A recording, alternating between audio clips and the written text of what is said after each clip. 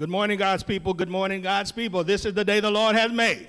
I will rejoice and be glad in it. Hallelujah. Glory to God. What an awesome fall day the Lord has given us that we might come together and lift up the name of Jesus. So, for all those who are here presently, for all those who are viewing us online, we welcome you to the Tabernacle Praise Christian Church, our worship services. I'm Pastor Nate, and we're so glad to have all of you with us on today. We're looking forward to a glorious time in the Lord. Amen? Amen. I'm going to ask, we're going to follow this format. Uh, at this time, Minister Shirley Brown is going to come with words of exhortation and, and our prayer. She'll be followed immediately by Minister Kendra Coleman, who will come and give us a sermonic selection. Then I'll be back with the word. Amen? Amen. Amen. Give God praise as Minister Shirley comes.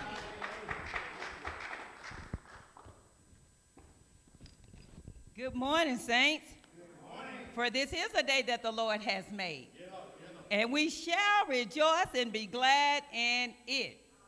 Hallelujah. Amen we know that God can do it. So I give you greetings this morning, far and near, uh, thanking God for each and every one who came out, those who are calling in, those who are watching. So we thank you, Lord, on this morning for each and every one for allowing us this opportunity. This morning, my words of exhortation will come from the book of Ruth. I've been studying this book uh, for a while, and this morning the Lord put it back in my spirit this morning. And oftentimes when we think about the book of Ruth, we think about Ruth and Boaz. But with this book of Ruth that God has been giving me and showing me, it's a fresh word. The thing with this is knowing that we need to continue to trust God, trust Him. And that's what Ruth did. In spite of everything that was going on in her life, as we go back, we look at her and her mother in law, Naomi, and we look, they lost husbands, sons. So at that point, with losing husbands, sons, she and her sister, she and her sister-in-law, Ruth, I'm sorry, Ruth decided to go on back to Bethlehem. But Orpah, the other daughter-in-law, decided she was going to go back to her family. But Ruth decided to go on with Naomi. Can you imagine that? You know, you have an opportunity to go back to your family, but you're choosing to follow a mother-in-law to a land of unknown that you don't know. So with that being said, it, the Lord said in my spirit that he's speaking to her. He's leading her. He's guiding her. And knowing that he is covering her and he is with us, just like he is now, with the unknown. We don't know what tomorrow holds, but we know who holds tomorrow. So because of that, we yet thank God for what he's doing. So when we continue to go on, unless God gives you some new directions, I've learned to trust him and continue the journey of where he's allowing me to go at this time. Oftentimes when we don't hear from God, we, we make up our minds. I'm going to do this, I'm going to do that. But I've learned when I don't hear from him, just to stay the course. Stay the course that God has ordered you on. So Ruth decided to go on with the mother-in-law, not knowing but when she continued to go on, God favored her. She fell into the favor of God because of her faithfulness. Just like we are, he's a rewarder of those who diligently seek him. And that's what he did. From the time she hit that town, she fell into a field where he seen her, and they started blessing. She went on and on and on, each and every day, never lacking for nothing. The word says, I've never seen the righteous forsaken or a seed begging bread. And that's what he did with Ruth. So on and on and on in the story, in the words, you'll see where God covered her, how he kept her, just like he is now with us. With wars and rumors of wars and pandemics and everything going on. I choose to continue the path. The destiny, your destiny, is tied to this path that we need to continue on. Even with everything going on, God is yet blessing us. He's blessed my household over and over again, my children. Yes, things are happening. But until he says something different, we need to continue on the journey and the steps that have been ordered by the Lord. And right now, he hasn't said anything different, but to continue on. Go with God. Go with God. He's a God that faileth not. So we're going to go on with him in spite of. in spite of. We're going to trust God and trust the journey, thanking and praising Him each and every day. Because I've seen Him bless. You know, it's a lot going on, but I've watched people and I've seen things happen where the Lord has blessed beyond measure. For eyes have not seen, neither has entered into the heart of man what the Lord has prepared for those that love him. So we're going to trust God, y'all, and go on just like Ruth did. Yeah, in the end, she ended up marrying Boaz, but during the process, God showed himself mighty. Just like he's doing us now. He's showing himself mighty. He is doing it each and every day. He said, I've never seen the righteous forsaken or a seed begging bread. So for me, those are the steps for us to continue on the journey. Trusting him when we can't trace him. Thanking and praising him each and every step of the way. Knowing that he's victorious, because he's victorious, we will be victorious. So I thank him on today. And I yet praise him, I glorify his name, because he is so worthy to be praised. I honor him, magnifying him. What a mighty God he is, and, and he has continued to be. He blessed them in an unknown land. So he's the same God yesterday, today, and forevermore. So he'll keep us, just like he did Ruth. Because we've learned God has no respect of a person. So we thank him and go on with God, trusting him. For the Lord is our shepherd, and we have no need to want. Amen? Amen. Amen. As we prepare to go to the throne of grace, thanking and praising him. Almighty God. Almighty God. Almighty God. As we come into your presence this morning, Father, we come simply to say thank you, Lord. Thank you, Lord. Thank you, Lord. Father, you've been mighty, mighty good to us, Father God. So we give you all the honor, praise, and glory, Lord. Father, we've set this time aside just no more than just to glorify your name, Father. Thank you, Lord Jesus. Thank you, Lord. Father, we acknowledge that it was you that done it and not we ourselves.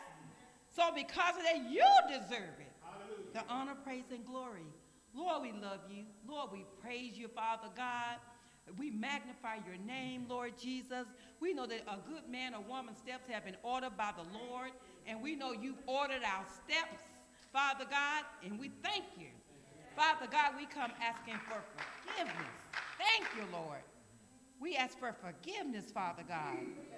But Father God, we know we've fallen short of your glory, but we thank you for your grace in your mercy that you allow each and every day that is fresh each and every morning. So we thank you, Lord, for being such a forgiving God. Thank you, Lord Jesus. For we know when the praises go up, the blessings come down. So we thank you on this morning, Father, for answering prayers. But Father, we thank you for, uh, for not answering some prayers, Father, that we prayed. For Father God, you know what's best for us. You know because you made us, Father God. You made us, Father God, and we thank you for that, Father God, for all you've done, Father God. Lord Jesus, we come praying, Father God, one for another, Lord, on this morning, Father God. Father God, we come praying for our congregation, Father God. Father God, we pray for those who are in bereavement, Lord Jesus. Father God, that you would touch. See, Father, I know you to be a comforter as well. You have everything that we need. All we need to do is simply just ask. Just ask the Father. Just ask. Your word said we have not because we ask not. So we're asking today, Father God, that you have your way, Father God.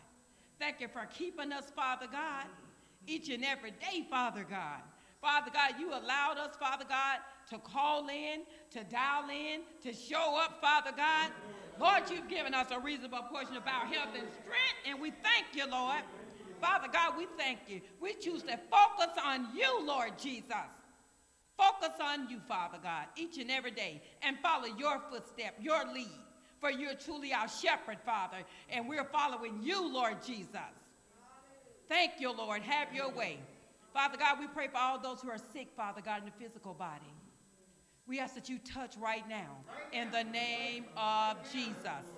We know you to be a healer, Father God. In the name of Jesus, Father God. We thank you for delivering, Father, those who need a deliverance, Father, in the name of Jesus. We know you can do anything except fail. So, because of that, we thank you, Lord, in advance. We've prayed, Lord, and now we're thanking you, Father, for what you're doing and what you've continued to do, Father. Father God, I lift up our country that you would touch us, Father. That you would touch this country. Every person, Father God. We know you're in charge, Father God. So we yes trust, yet trust you, Father. I pray for our city, all the leaders, Father God. Father God, I pray for our local churches that are open, Father, in your name, Father. Lord, I lift up our pastor and first lady, Father God, our own personal congregation, Father God, that you would touch each and every one, Father God. And Father God, our members, Father God, that are extended members, Father, that you would touch them, Lord Jesus. Father God, you've been so good, Lord. You've just been so good, Lord Jesus. There's so much to thank you for, Father God. So we thank you for it all. Thank you for it all, Father God, for all that you've done, Lord Jesus. Father God, as we continue to come to you with prayer and supplication, Father, knowing that we can't do it, but you can, Lord. So we honor you. We praise you. We glorify you, Father, for you've been a mighty, mighty good God. Lord, it could have been so many ways. But just like Ruth, Lord, you made provisions for us, Father God. And you won't stop until that work is completed. So we thank you, Lord, for what you're doing, Father, each and every day. Father, I pray that you will bring us back together again on one accord, Father God. Your people, Father God, back together on one accord, Father God. Lord, we give you honor, praise, and glory, Father, as we just stand in awe of you, Father in awe of who you are, Father, how you've shielded us from danger seen and unseen. Some imaginary, some even real. Father, your word said they may come near us, but they will not harm us. So I thank you, Lord. I choose to go on with you, Father God, into the destiny that you have for us, Father God. We know that all good things come from the Lord. So we thank you, Father, for that, Father God, knowing that good things are to come and good things are here. It may not be like we wanted them to be, Father God, but Father God, we know that you're with us, Father God, in the midst of this. So we ask that you continue to have your way in our life each and every day, Father God. We love you, Lord. We praise you. We honor you, Lord. I thank you, Father God. I thank you. I just glorify in you, Father. I rejoice, rejoice, rejoice, Father God, in you, Lord Jesus. Simply in you, Father God. Because you loved us, Father God to look beyond our faults and to see our needs. So we get, thank you, Lord. Thank you, Lord. Thank you, Lord. Hallelujah. Thank you, Jesus. What a mighty God you are. Thank you for your presence that is with us each and every day. Thank you, Lord. Hallelujah. Hallelujah. For we know it is the highest praise. Hallelujah. Hallelujah. Thank you, Jesus. Thank you, Jesus. Thank you, Jesus, for doing just what you do each and every day. Mm, thank you, Lord.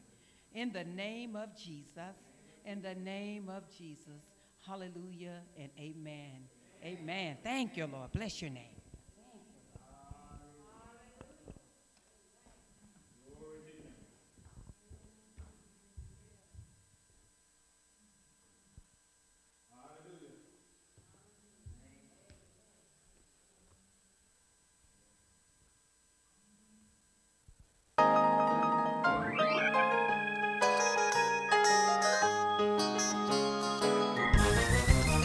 God can.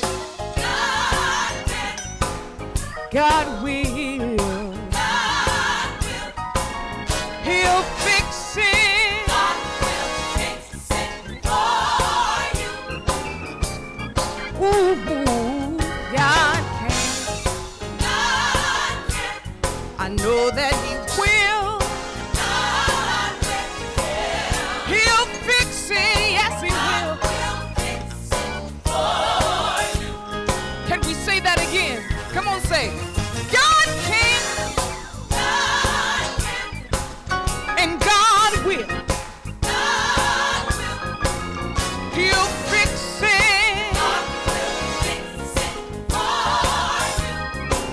Believe that today? Whoa!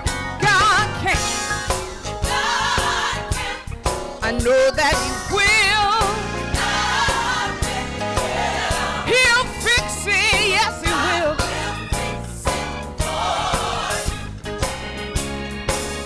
Listen. Somebody might be in the hospital and the doctors know all they could do. Mustard seed. I'm a witness, he'll bring you through. Just like God gave Moses power in the rod, I'm here to tell you there's healing in the word of God, and God can. I know that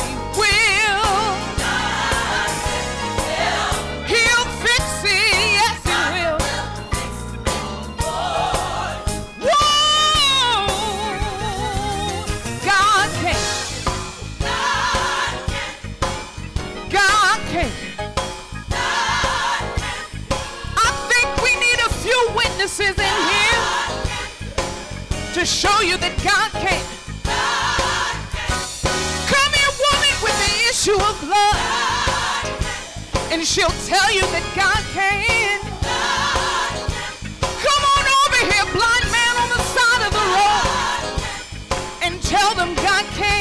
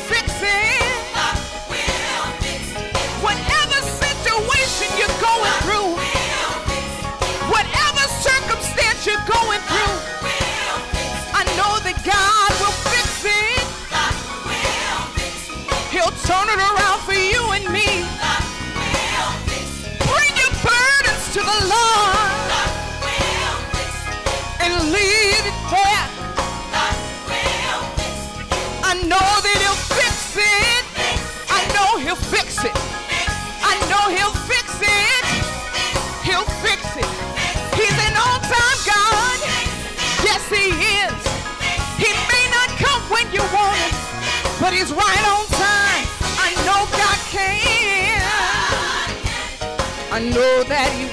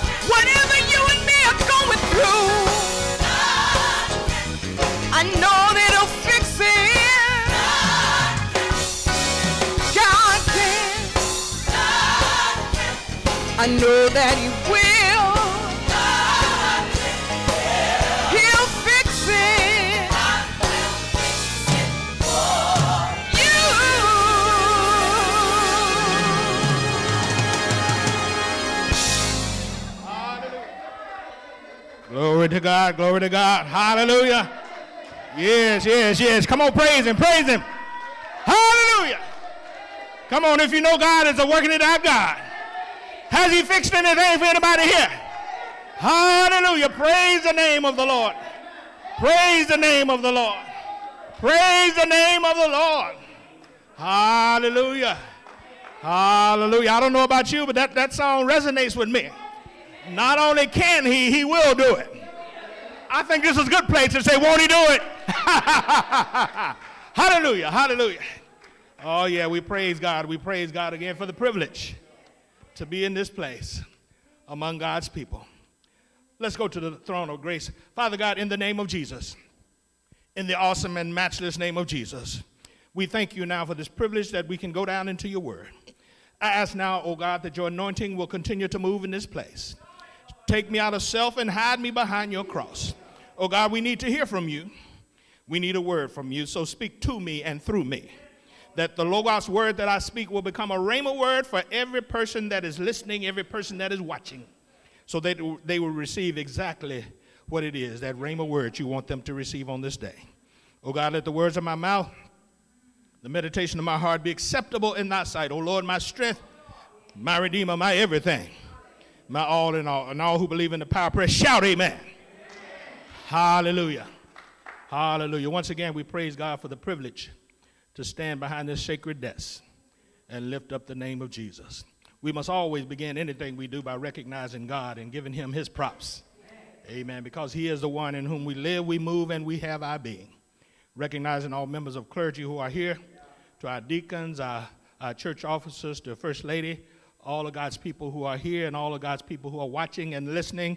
Amen. We greet you in the awesome and matchless name of Jesus. Hallelujah.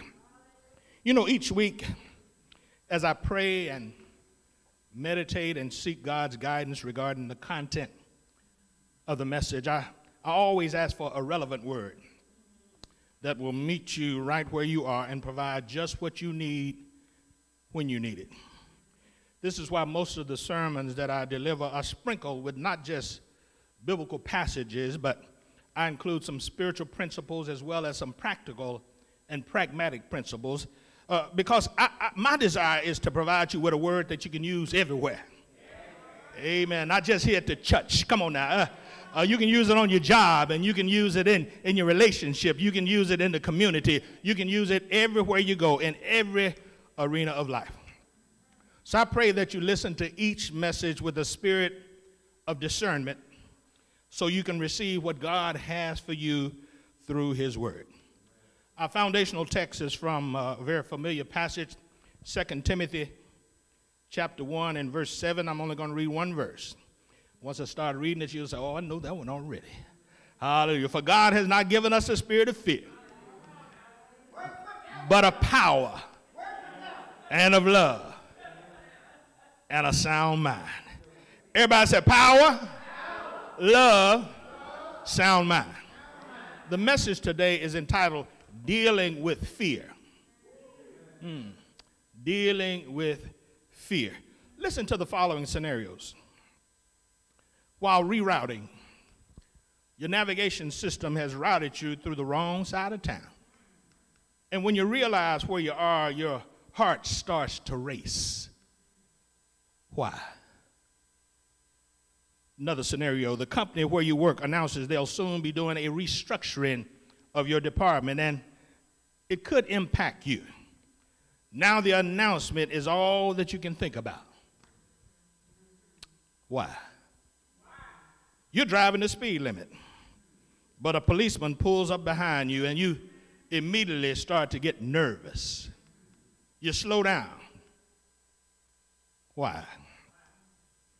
You had your annual physical a couple of weeks ago, but the doctor's office calls and asks you to schedule a follow up visit immediately you begin to think something is wrong. Why? You know, each response to these situations I just shared with you is most often driven by fear. Our immediate response to situations such as these are often powered by thoughts of worst case scenarios, leading to our thinking that the worst thing that could happen will happen. Our thoughts are rarely driven by a sense of peace and, and goodwill because we have been conditioned by the world to prepare for the worst while just hoping for the best. There are many images that people fear. Some fear stormy weather, certain kind of animals, other people, and even their surroundings.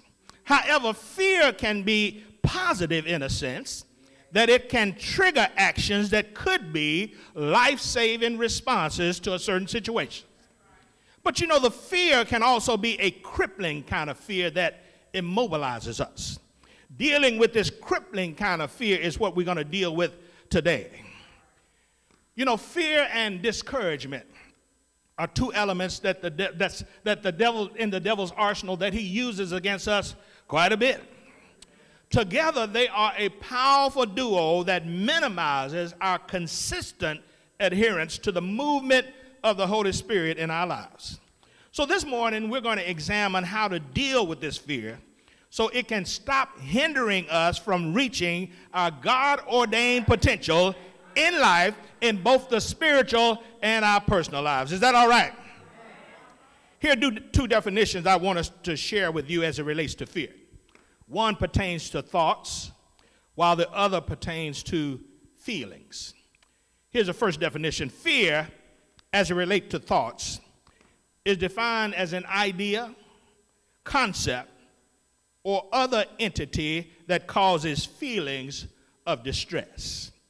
Let me repeat that again. Fear, as it relates to thoughts, is defined as an idea, a concept, or other entity that causes feelings of distress. Now, notice that the thought causes the feelings.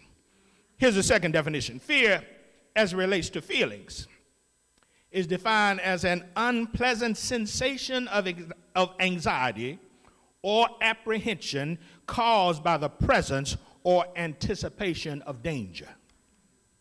Fear, as it relates to feelings, is defined as an unpleasant sensation of anxiety or apprehension caused by the presence or anticipation of danger. Again, the feeling is caused by the thought. Do you see the connection between thoughts and feelings? When we examine these two definitions together, we see that the fear generated by our thoughts creates the fear that we can actually feel. First, there is a thought which is followed by a feeling. Here's a nugget for you. If you are not fearful in your thinking, then you won't become fearful in your emotions.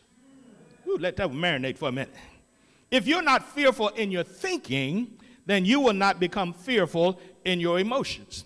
You know, there's a clause, uh, Minister Smith, right in the middle of Psalms 23 and 4 that says, I will fear no evil.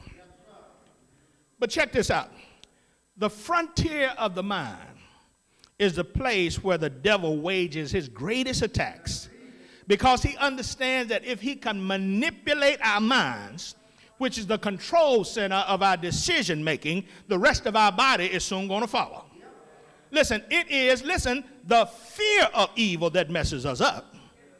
For most of us, the evil doesn't possess nearly the power that the fear of evil delivers. Listen to me again. In the, it is the fear of evil that keeps you up at night. Hmm. It is the fear of evil that rob you of your appetite. It is the fear of evil that has you going to the medicine cabinet looking for a Valium. It is the fear of evil that makes you reach for that drink to try and calm yourself down. It is the fear of evil. But if you fear evil, hear me now, good God's people, it's your own fault. It's your own fault because the God we serve, come on now, he, look, he has overcome evil and he has given us as believers the victory over evil, so we have nothing to fear. Our foundational text reminds us God has not given us the spirit of fear, but of power and of love and of a sound mind feelings of fear are generated by how we think. So, in order for us to address the crippling feelings of fear that we sometimes experience, we must first address, BJ, how we think. Hmm. Let's look at one of the examples I, I opened with uh, uh, uh, first. In the first example, you've driven to the wrong side of town, and now you realize where you are, and your heart starts racing. Why does your heart start racing? It starts racing because your mind, it takes on a Picasso demeanor and begins to paint negative images of things that could happen on the canvas of your imagination. Mm, mm, mm. Did y'all get that? The mind begins to create negative images and, and circumstances where there are actually none present. Mm, mm. Your mind doesn't consider the fact that in actuality, nobody is attempting to even bother you. And you're not in jeopardy in any kind of way. Your mind immediately goes to all of the negative things you've heard on the news about this area that you mistakenly find yourself in. It goes to all the crime statistic about the robberies and, and the murders and all the other acts of violence that have happened here. It remembers all the news articles that you read about multiple carjackings in that area. It remembers stories that your friend has told you about this area. After your mind tells you about everything that it has on its file about the neighborhood, then it inserts you into the storyline. What, what are you talking about, Pastor? And now it suggests that you could be robbed. It suggests that you could be carjacked. It, it suggests that you could be murdered. And once you start to think that it could happen to you, then and only then your heart starts to race. Do you see how your mind is the control center? And it gets you to thinking about all these situations, Minister Shirley, that do not exist. Mm. This is why we got to learn to deal with fear. We got to learn to deal with fear because fear is a learned emotion. Because there was a time in, in most of our lives when we had little or no fear. Remember that feeling? When we jumped off the jungle gym and slammed our little bodies to the ground? Amen. For me, it was jumping from a tree because jungle gyms were still futuristic. Come on, Frank, you know what I'm talking about. We, we ain't had no jungle gym. We, we were jumping off a tree, amen. Amen. Perhaps it was a feeling of invincibility that surfaced when we went on our first roller coaster ride, or when we were in high school or college, or maybe our first stint in the military. We felt that like it was nothing we could do. No goal was unattainable. Then, as time went by, the world tells us more frequently what we can't do rather than what we can do all of the doubters and all the naysayers, aka haters, they start to laugh at our goals and try to persuade us from going after our dreams. They say, Man, you're crazy to try that. It's too hard to even try. You ought to play it safe. Why don't you try this instead? They act as if dreams are meant for others and not for us. So they surround us, listen to me, with all of this negative energy and try to instill their own fears and insecurities into us. I hope y'all are listening today. Then, ever so slowly, we only begin to know the word fear, we start to understand what it's like to be fearful. With so many people that's telling us what we can't do, and so many people telling us what we can, it's difficult sometimes not to allow fear to creep into our lives. And unfortunately, this is how a lot of people go through life. Then, as we advance in age, many of us become so fearful of losing what we have that we don't go after what we truly want. Hmm. We want to play it safe. And we want to hold on so tight to the status quo that we never experience what could be and what God has already prepared for us. We start to believe all the doubters and we don't take chances that'll move us one step closer to our dream. This is what I call we, we start playing to lose. We see this in sports all the time. A team has a lead and they've been going after it, and th- then they start to think about how not to lose. Come on now. Instead of continuing to move forward and keep on charging. You, you football fans know about the prevent defense, which I hate. That has been the demise of many a team because they start playing not to lose. Come on, KC, you know what I'm talking about. But instead of playing to win, you can see it in their energy. You can see it in their body language. And as a result, the other team start playing loose. Come on, momentum change sides, and they eventually win the game. Listen, to live a life filled with consistent positive energy we must learn to repel the energy of fear. Whether it comes from within or whether it comes from another person, we must learn to deal with fear so we can overcome it. Amen. Amen. And then we got to adopt a play to win mindset. See, playing to win requires a commitment to yourself that, listen, even if you fail, you learn from that failed attempt and then keep on trying. Amen. This will help you develop a never give up attitude that so that you refuse to let your goals and your dreams die. Those who play to win know that success is not given to us. Someone, somebody need to hear that. It is pursued with all of the energy that we can muster. Listen to this nugget. Obstacles and struggles are a part of life and only serve to make us appreciate our success even more. If everything came easy, we wouldn't truly know how it feels to succeed, nor will we appreciate it the, the same. Here's another nugget. For the believer, all the believers said, That's for me. Look, obstacles are meant to be overcome, fear is meant to be conquered, and success is meant to be achieved. These are all part of the game of life, and people who succeed play to win and never give up until the goal is obtained. But you know, unfortunately, many, many people are feeling strangled by fear, strangled by hatred right about now. We need the Holy Spirit to breathe on us so we can feel that empowerment from His presence that's already in us.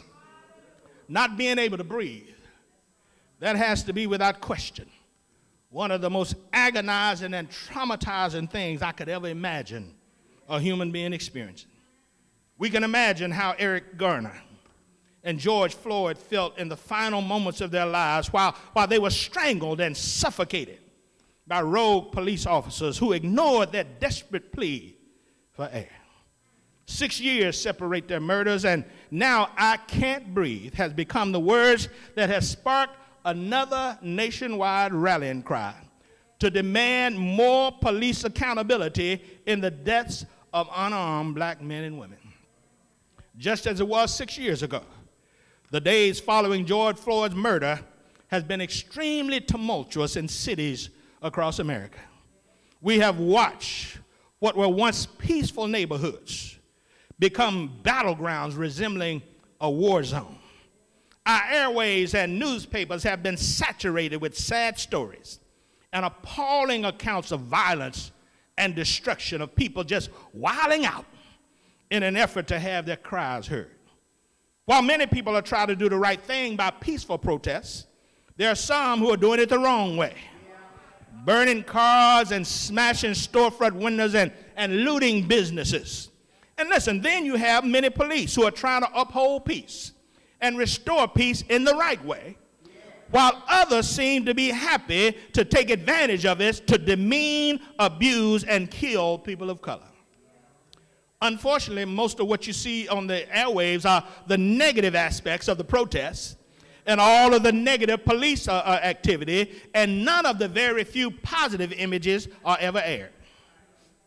One month before Floyd's death, COVID 19 was uh, on the news, everybody was talking about. But while the corona pandemic now seemed to have been bumped to a second tier status, and now we have all of this political shenanigans in the news. So, as I mentioned earlier, I, I'm constantly petitioning the Holy Spirit to speak to me, to give me a word of encouragement that will help us out during this unsettling out. We need a word from the Lord. We need a word because it seems that fear and, and anger and, and hatred has this country in a stranglehold. We need divine help like never before. Well, like he always does, the Holy Spirit has spoken. And he's given me a word for you today in this message about how to deal with this fear, dealing with fear. You know, injecting fear into people's lives is a tactic the devil has been using for years. He didn't just start using it in this 21st century. Listen to this account from John chapter 20, verses 19 through 22. Then the same, excuse me, then the same day at evening, being the first day of the week, when the doors were shut where the disciples were assembled for fear of the Jews, came Jesus and stood in the midst and said unto them, Peace be unto you. And when he had said, he showed unto them his hands and his side. Then were the disciples glad when they saw the Lord. Then said Jesus unto them again, Peace be unto you. As my Father has sent me, even so send I you. And when he had said this, he breathed on them and said unto them, Receive the Holy Ghost.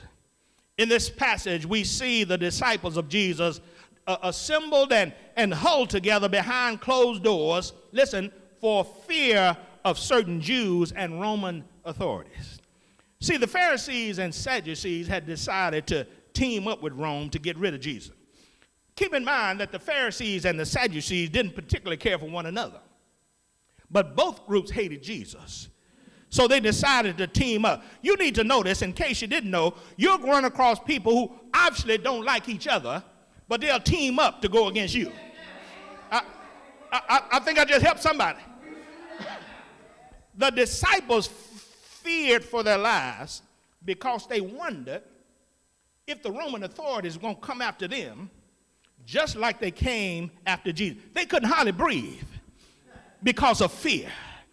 But it was that paralyzing and, and crippling, fearful mental state that Jesus showed up. The record said, as they, as they, while they were assembled together, while the doors were closed and locked, Jesus appeared with words of comfort. You know what, Deacon Hill? I wonder if there's anyone listening or watching who can testify. When crazy stuff jumps off in your life, come on now. When you find yourself in a position where crippling fear is trying to overtake your life when you're locked up tightly because you don't want to have anybody else around, when it seems like you're up the creek without a paddle. Come on now, that's when Jesus will show up. Anybody know what I'm talking about? Aren't you glad that he's an on-time God? Oh yeah, he's an on-time God. Yes, he is. Yes, he is. And in this 20th chapter of John, Jesus does just that. He shows up. He appears to the disciples after he had risen from the dead. And I can imagine the disciples were happy. But at the same time, um, uh, uh, Minister Hill, I believe that they were a little bit unsettled. Because, you know, dead people don't just show up like that. Come on now. Don't just show up like that. Evidently, they forgot what Jesus said in John 20 and 19. Destroy this temple, and in three days, I'll raise it up. They thought Jesus was talking about the church building. They thought he was talking about the synagogue, but he was speaking prophetically about his death and resurrection. On that day, somebody said that day, the Lord gave each of them free breathing treatments. The treatment was contained in one word peace. John informs us that when Jesus miraculously appeared in their midst, he said to them from John 20 and 21, Peace be unto you. As my Father has sent me, even so send I you. Jesus breathed on them and said, Receive the Holy Ghost. Listen to me, top partners and friends. You need to know that Jesus is a peace provider and he's a peace producer. It was this proclamation of peace that calmed down this room of despondent disciples. You see, their leader, their teacher, their mentor, their friend had just died a cruel and ignominious death on the old rugged cross. So they needed peace in the worst way.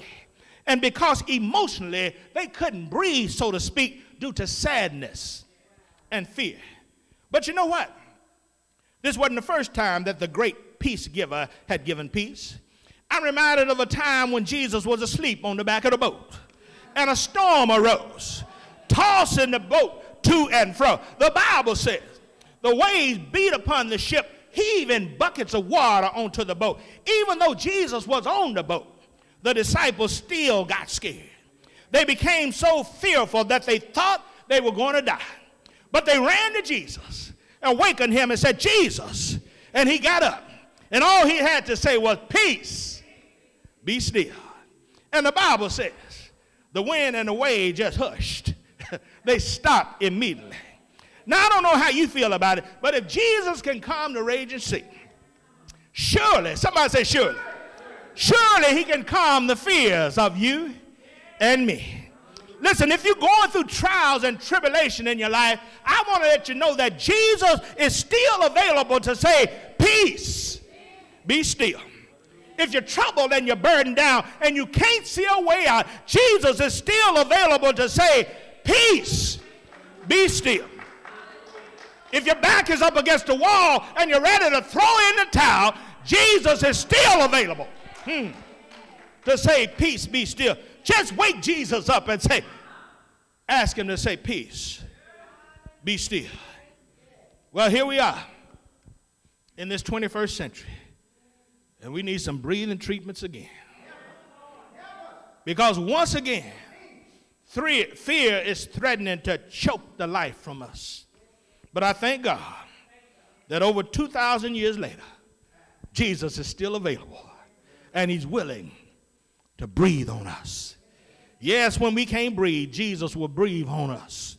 And when he does, he does these four things for us. And if you don't mind, I'm going to tell you about these four things and I'm going to let you get out of here.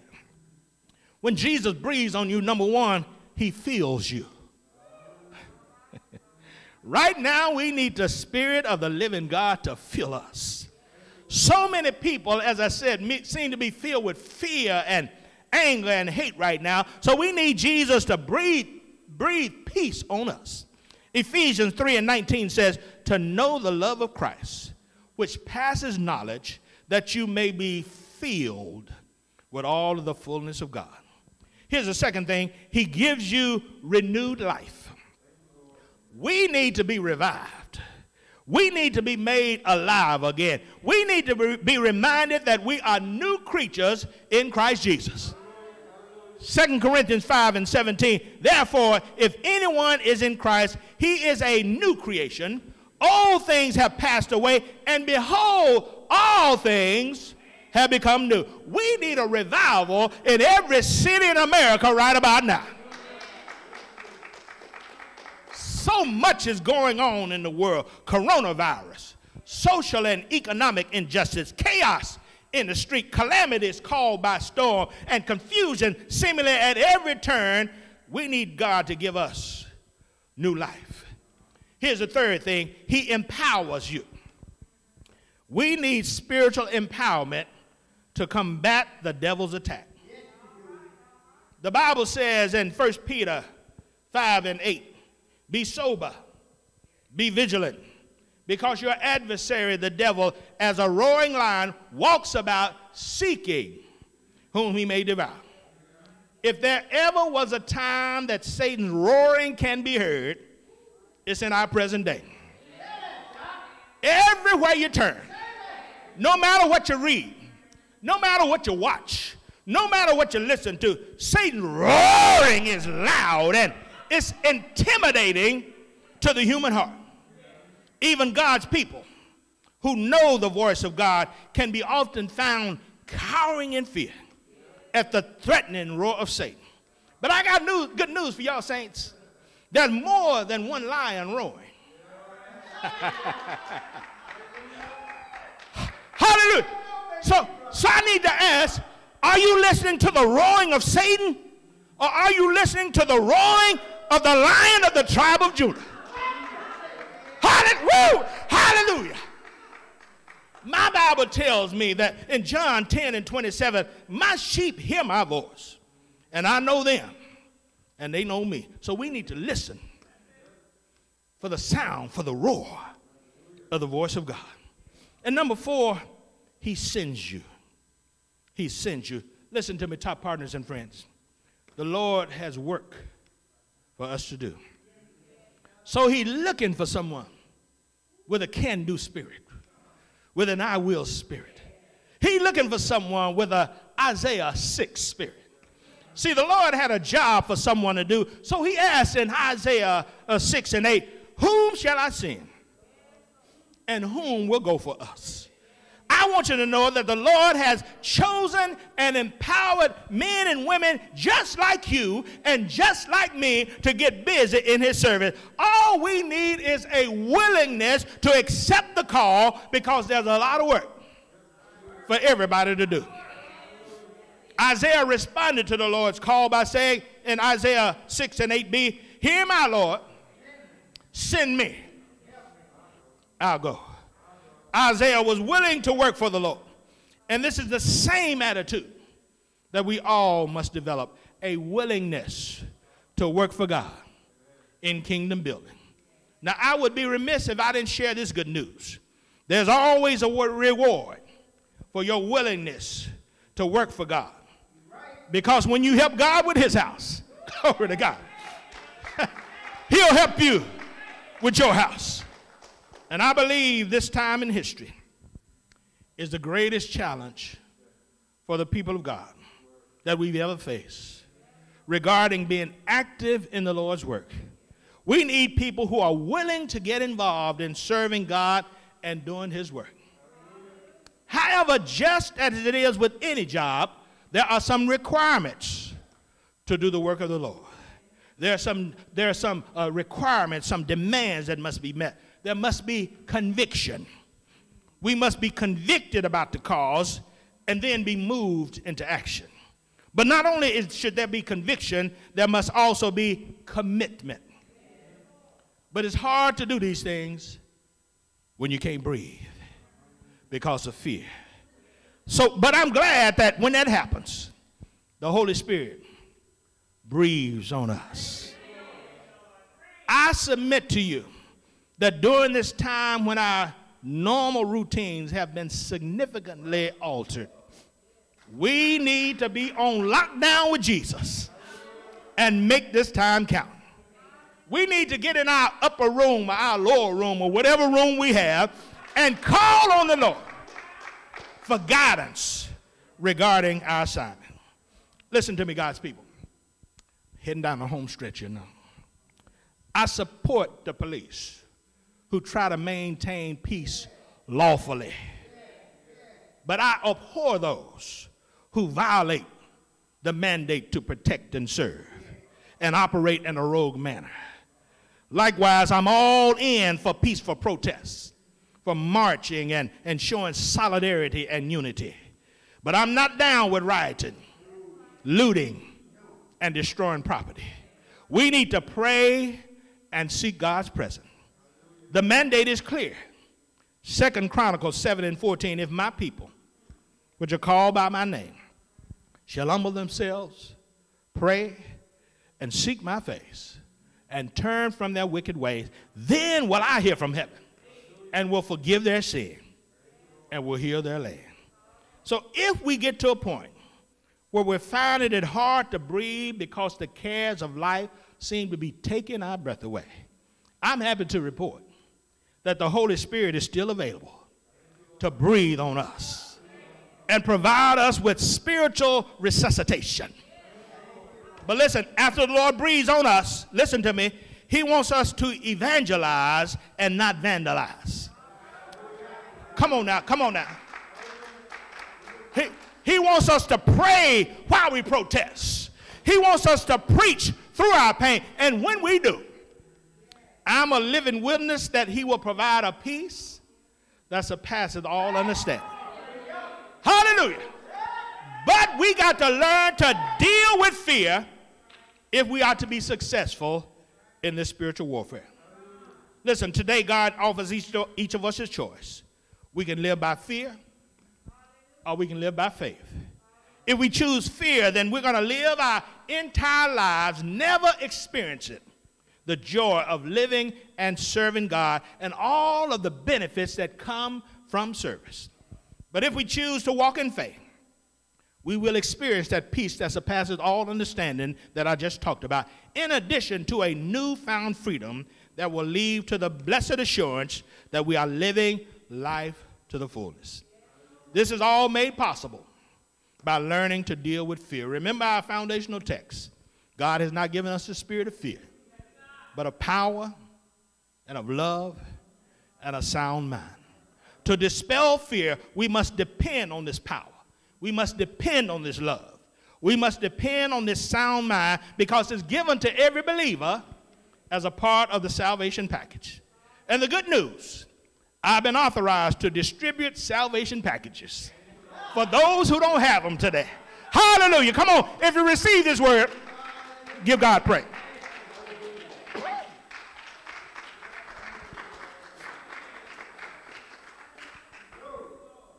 Hallelujah. As the invitation to discipleship is now extended, If you want to receive Jesus Christ as your Lord and Savior, or if you're already a Christian and you want to become a local, remote, or honorary member of the Tabernacle Praise Christian Church, send your contact information and or any question you might have about our ministry to labhill60 at gmail.com.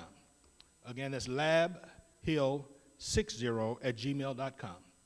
Or you can text it to 901 319 5588. 901 319 5588. Once again, I'd like to personally thank all of our top partners and friends for their continued financial support of this ministry. So, for first time viewers who might also desire to support this ministry financially, we have four methods by which you can give. The first one is a Cash App. Our ID is dollar sign TOPCC 4325. Again, that's dollar sign TOPCC 4325. The second option, you can text TOP to 77977 and then follow the prompts. Our third method, we invite everyone to download our top app from the Apple Store or the Google Play Store, and then you can click on the giving icon and follow the prompts. The fourth method is by the good old U.S. mail. You can mail them to TOPCC 4325 Hacks Cross Road, Memphis, Tennessee 38125. Again, we thank all of you for being with us on today, and it is my prayer that through the ministry of song, the ministry of the spoken word, that we all have received something to strengthen us in our spiritual walk. So at this time, our benediction comes in the form of a passage from 2 Corinthians 13 and 14 from the Message Bible. May the amazing grace of the Master, Jesus Christ, the extravagant love of God, the intimate fellowship of the Holy Spirit be with all of you until we meet again. Everyone say amen. Amen. Amen. amen. Until next week, this is Pastor Nate saying, be safe and be blessed. God bless you. God bless you. God bless you.